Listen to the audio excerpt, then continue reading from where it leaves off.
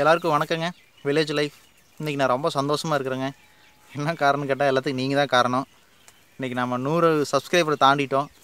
நான் வீடியோ போட்டு ஆரம்பித்து ஒரு இருபத்தஞ்சி நாளோ இருபத்தெட்டு நாளோ தான் ஆக போகுதுங்க.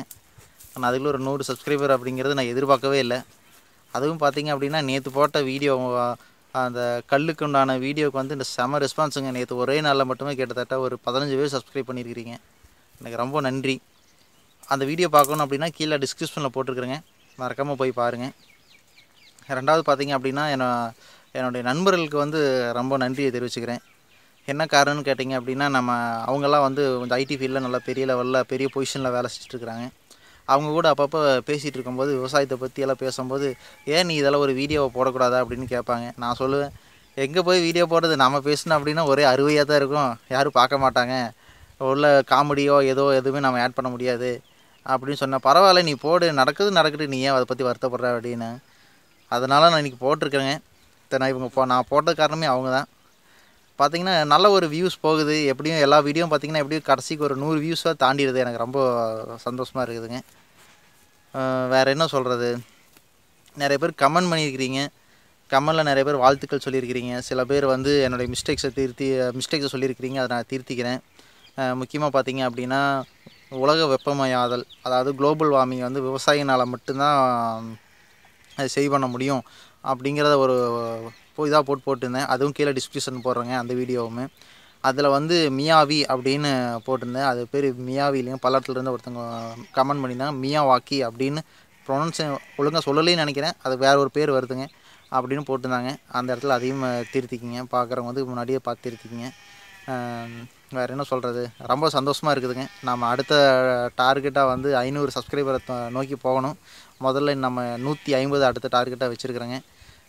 கூடி சீக்கிரம் நம்ம வந்து ஆயிரம் சப்ஸ்கிரைபரை ரீச் பண்ணுவோம். எலிஜிபிலிட்டி ஆகணும். நான் இந்த இடத்துல ஒரு உத்தரவாதம் கொடுக்குறேங்க. என்ன அப்படின்னா யூடியூப்லேருந்து வரக்கூடிய ஒரு வருமானத்தில் ஒரு டுவெண்ட்டி ஃபைவ் பர்சன்டேஜ் இருபத்தஞ்சி சதவீதம் வந்து திருப்பியும் சொசைட்டிக்கே ஏதாச்சும் ஒரு வகையில் கொடுக்கலாம்.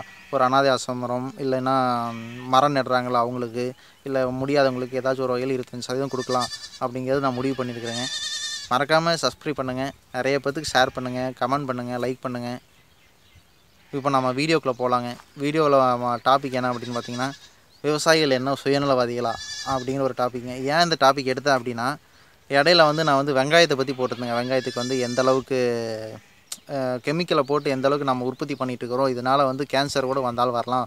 ஆச்சரியப்படுறதுக்கு இல்லை. அதோட மருத்துவ குணம் வந்து தொண்ணூறு சதவீதம் நம்ம இழந்துட்டோம். இந்த கெமிக்கல்னால் ஒரு கேன்சரே குணமாக்கக்கூடிய இருந்த வெங்காயத்தை நான் வெங்காயம் இன்றைக்கி ஒரு கேன்சரே உருவாக்கிடுமோ அப்படிங்கிற அளவுக்கு பயத்தை ஏற்படுற அளவுக்கு இன்றைக்கி கெமிக்கல் ஃபார்மிங் வந்திருக்குது அப்படிங்கிற ஒரு வீடியோ போட்டிருந்தேன். அந்த வீடியோவும் கீழே நான் டிஸ்கிரிப்ஷனில் போடுறேன். போய் பாருங்கள் மறக்காமல் பாருங்கள் அந்த வீடியோலாம் பார்த்துட்டு நிறைய பேர் வந்து எங்கிட்ட நண்பர்கள் நிறைய பேர் வந்து ஃபோன் பண்ணி கேட்டாங்க. என்னப்பா இது இவ்வளோ கெமிக்கல்லாம் போட்டு எங்களுக்கு கொடுக்குறீங்களே. நாங்கள் எப்படி பண்ணுறது ஏன் இவ்வளோ சுயநலவாதியாக இருக்கிறீங்க? கொஞ்சமாவது ஆர்கானிக்காக பண்ணலாம்ல. ஏன் இப்படி பண்ணுறீங்க அப்படின்னு கேட்டிருந்தாங்க. நான் அந்த டைமுக்கு நான் என்ன பதில் சொல்கிறதுனே தெரியல.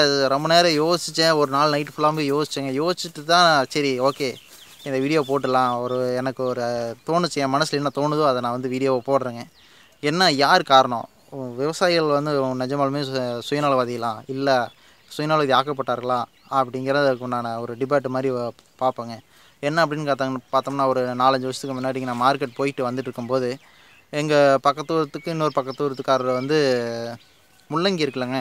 முள்ளங்கி போட்டுட்டு அங்கே வந்து விற்க முடியாமல் திருப்பி எடுத்து வந்திருந்தார் மூட்டையில். ஏனுங்க ஏன் ஏன் விற்காமல் கொண்டு வரீங்க? அங்கேயே ஏதாச்சும் ஒரு வேலைக்கு கொடுத்துட்டு வர வேண்டியதானே அப்படின்னு கேட்டதுக்கு யாருமே வாங்க மாட்டேங்கிறாங்கப்பா அப்படின்னாரு. அப்புறம் ஏன் அப்படின்னு கேட்டால் பூரா முள்ளங்கி பூரா வந்து மண்ணாக இருக்குது. மண்ணாக இருந்தால் யாரும் வாங்க மாட்டேங்கிறாங்க அப்படின்னாரு. ஏங்க தண்ணி தண்ணியில் போட்டு கழுவ வேண்டியதானே அப்படின்னு தண்ணியில் போட்டு கழுவி தான் கொண்டு வந்திருக்கேன்.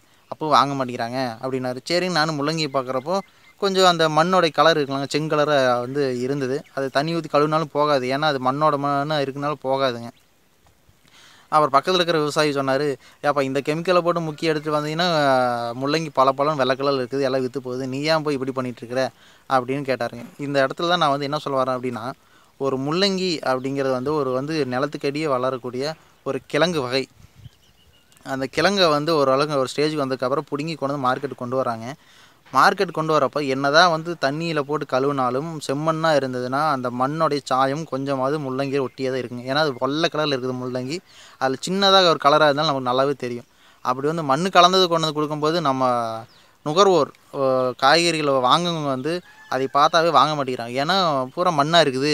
இதை வாங்கிட்டு போய் என்ன பண்ணுறது அப்படின்னு கேட்குறாங்க இதே பக்கத்தில் இன்னொருத்தர் வந்து போட்டு கெமிக்கல்லாம் போட்டு நல்லா கழுவி வெள்ளை செக்க வெள்ளை வலிகோன்னு கொண்டு வந்து கொடுத்தா வாவ் சூப்பராக இருக்குது. அப்படின்ட்டு வாங்கிட்டு போயிடுறாங்க. மக்கள்கிட்ட நாம் என்ன சொல்கிறது இப்போ அந்த விவசாயி என்ன பண்ணுவார்? நாளைக்கே போய் அந்த என்ன விலையானாலும் அந்த கெமிக்கலை வாங்கி கொண்டு வந்து போட்டு முக்கி கொண்டு தான் கொடுக்க போகிறாரு அதை சாப்பிட்டு நம்மளுக்கு நோய் தான் வரப்போகுது. இது வந்து மக்கள் புரிஞ்சுக்கிறதே இல்லைங்க. ரெண்டாவது பார்த்திங்க அப்படின்னா காலிஃப்ளவர் ஒரு பூன்னு எடுத்துக்கிட்டா அப்படின்னா அந்த பூவில் வந்து கண்டிப்பாக புழு வந்தே தாங்க தீரும். புழுவே வராமல் எப்படிங்க பூவை கொண்டு வர முடியும்? நம்ம புழுவோடு கொண்டு போய் கொடுத்தா மக்கள் பார்த்துட்டு வேக் புழு.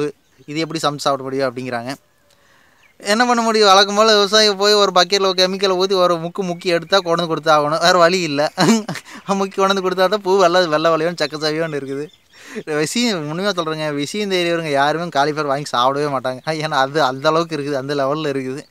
நான் என்ன சொல்கிறது அப்புறம் அது புழு இருந்தால் சரி ஓகே காலிஃப்ளவர் சாப்பிட்றோம் அப்படின்னா கொஞ்ச நேரம் கொண்டு போய் சுடுதண்ணியில் போட்டோம்னா புழுவெல்லாம் செத்து போயிருதுங்க. கொஞ்சம் தலையெல்லாம் பிடிச்சி ஒரு எல்லாம் சலசுனா கிட்டத்தட்ட ஒரு எழுபது எண்பது சதவீதம் பூ புழு வெளியே வந்துடும் மீதி நம்ம கண்ணு தெரிஞ்சதை எடுத்து பொறுக்கி போட்டுட்டு சமைச்சு கண்ணை மூடிட்டு சாப்பிட வேண்டியதான் இப்படி தான் ஆர்கானிக்காக செய்ய முடியும்.